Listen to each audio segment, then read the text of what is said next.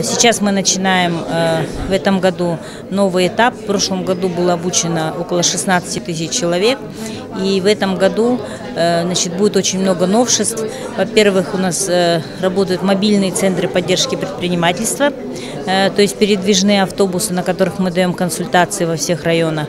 А во-вторых, мы в этом году хотели бы модернизировать эту программу, сделать ее более понятной значит, для начинающих предпринимателей и сделать еще семинары не только для начинающих, но и тех, кто прошел ранее бизнес-советник, а уже их количество э, больше 30 тысяч, и предложить для них уже более продвинутые семинары.